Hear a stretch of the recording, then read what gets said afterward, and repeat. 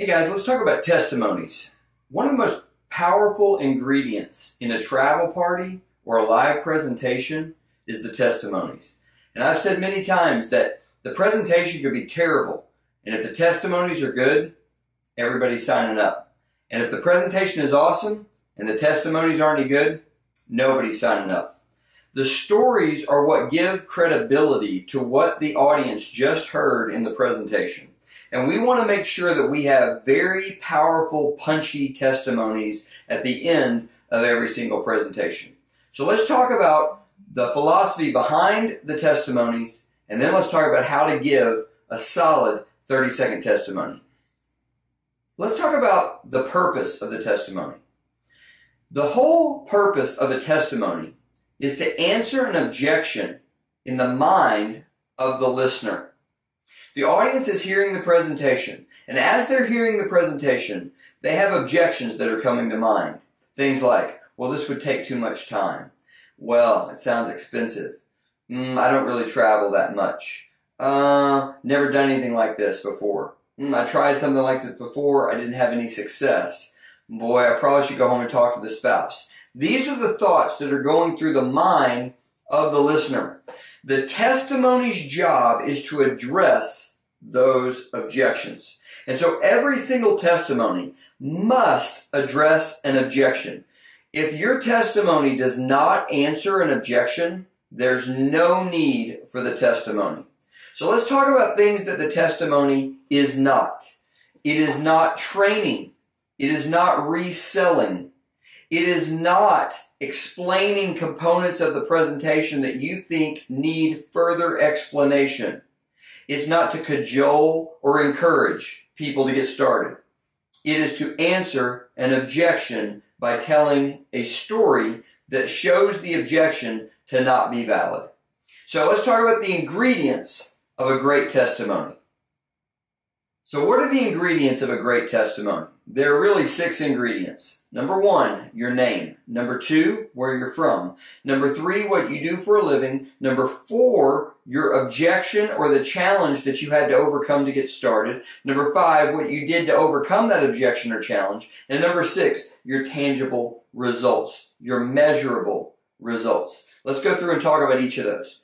First, your name, that's self-explanatory. Where you're from, self-explanatory. But the what you do for a living, we need to talk about.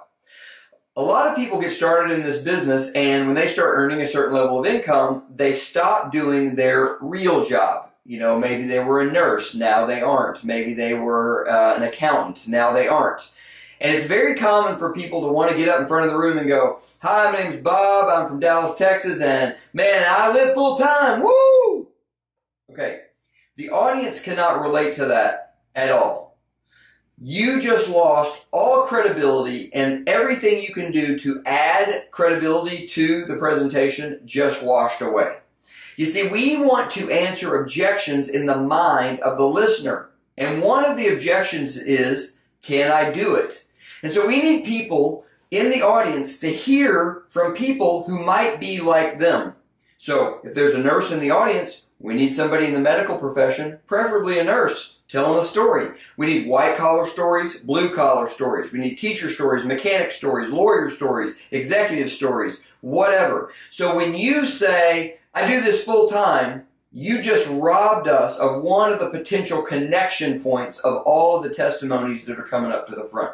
So don't do that. Say, I was a whatever your profession is, for how long you were that before you became full-time in World Ventures and don't mention the full-time right now. We'll talk about that in the results part. So, name, where you're from, what you do for a living. If you're retired, you're retired. That's cool. That is a thing. If you're, you know, if you're, if you're above the age of 65, if you're a student, cool, you're a student. But say what you do that's not, I'm full-time in World Ventures. Next, your objection or your challenge. If you, when you saw this, you didn't have 365, or you didn't think you'd have any time, or you thought these sorts of things were a scam, or you built a network marketing idea before and not had any success, or you've never built a network marketing idea and didn't think you could do this, or you didn't think you knew very many people, or you don't like to travel, or you had never traveled before, whatever, you needed to talk to your spouse. This is what you're going to say. So it would sound kind of like this. Hey guys, my name is Scott. I'm from the Dallas area. I was an executive in the software industry for more than 15 years, and when I saw this, I was working more than 80 hours a week, and my big thing was I just didn't figure there was any way at all to fit something else in. I didn't know where I'd possibly do this. I liked the idea, no chance I could fit it into my schedule. That's my objection or my challenge. Next, what you did to overcome that objection or challenge. So I might say something like, but I started thinking about the fact that the definition of insanity is to repeat the same thing and expect a different result. And I knew that I was never going to have time if I didn't do something different. They told me there was a system, and if I followed the system, I could build leverage and buy my time back. Maybe your objection is I need to talk to my spouse. Well, when I saw this, guys, I was ready to get started, but I had an agreement with my spouse that we wouldn't make a decision on the spot without talking to one another. And I really felt like I needed to go home and talk with her. But you know what? I saw how serious my friend was and that they were putting people into the team very, very rapidly. And I didn't want to miss out on that growth. So I just figured my spouse could trust me enough with a $365 decision for me to move forward. Man, I'm so glad that I made that decision on the spot. So your objection and then what you did to overcome the objection. And then the last thing is your measurable results. One of the mistakes that people make is they use results that people don't know what it means. They say things like, and it's been awesome. Thank you, World Ventures. What does that mean? It's been awesome.